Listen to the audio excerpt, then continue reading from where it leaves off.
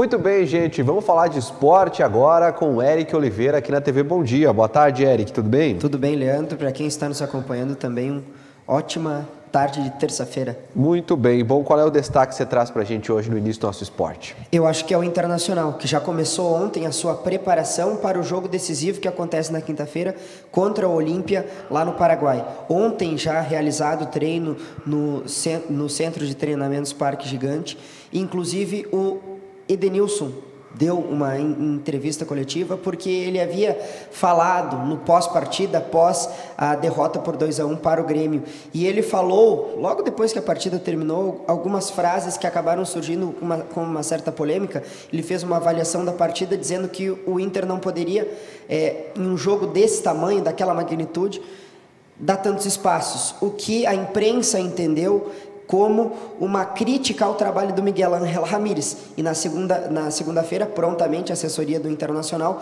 colocou o Edenilson para falar e ele explicou toda a situação, dizendo que o grupo ele está eh, coeso com o trabalho do Miguel Ángel Ramírez, que inclusive os jogadores eles dão pitaco, eles falam, eles conversam com o treinador e defendeu o Miguel Ángel na entrevista de ontem.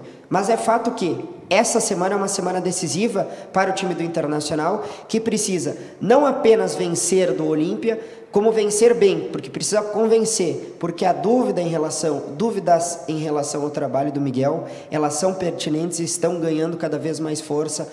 Ontem, com a fala do Edenilson, acabou ganhando mais mais peso toda essa discussão, porque agora surge outro paradigma, que é a relação do grupo do Internacional. Porque agora há uma crítica também ao grupo, dizendo que esse grupo não é vencedor e que a substituição de técnico não seria a solução. Então está bem complicada a vida lá, no, lá para os lados do Beira-Rio. E para os lados da Arena Tricolor, como é que está o Grêmio?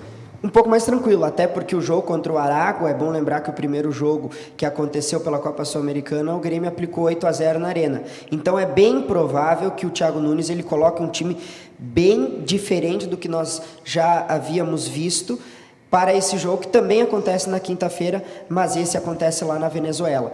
Então, o, o, Grêmio vive um momento um pouco mais estável, mas o próprio Thiago Nunes disse na coletiva que o resultado do primeiro jogo, na ideia dele, no entendimento dele, não, não serviu de absolutamente nada. É preciso a disputa do segundo jogo do Clássico Grenal para que sim o Grêmio possa erguer o troféu do tetracampeonato Gaúcho 2021. Muito bem, vamos dar uma olhada agora nos novos reforços do Ipiranga. O time de Erechim apresentou dois deles ontem. Já já o Eric fala sobre esses reforços. Te liga. O Ipiranga apresentou na tarde desta segunda-feira dois novos reforços para o time na Série C. O primeiro deles foi o meio-campista Diogo Sodré, de 30 anos. Ele começou a carreira no Cruzeiro de Minas Gerais e já passou pelo Curitiba, Bragantino, Luverdense, Remo, Votuporanguense, Novo Horizontino, entre outros clubes brasileiros. Antes do Ipiranga, ele estava no craque de Goiás. O outro nome apresentado é o zagueiro Douglas Mateus do Nascimento, de 26 anos. Com 1,90m, Douglas é natural de Santa Cruz e estava jogando o Paulistão pelo Santo André. Ele veio emprestado do time paulista.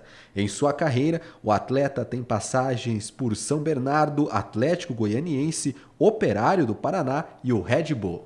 Muito bem, Eric, o que, que você achou desses reforços do Ipiranga?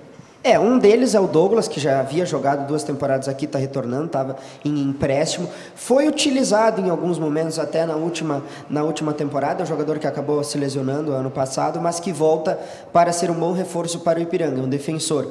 E um meia ofensivo, o Diogo, que é um, um jogador que já tem uma certa idade, o, e o Luiz Soares também, os dois na casa dos 30 anos, 29, 30, 31 anos mas são jogadores importantes para as necessidades que o Ipiranga apresentou, com a saída do Mossoró, com a saída do Caprini. A peça ofensiva era que demandava um pouco mais de atenção e um pouco mais de inteligência.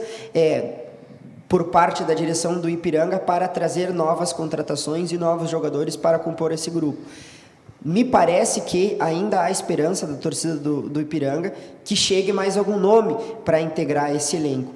Mas é boa a notícia dessas novas duas contratações, são três que chegaram para a disputa do Campeonato Brasileiro Série C. Ontem, jogo treino, Ipiranga realizou contra a Chapecoense Sub-20.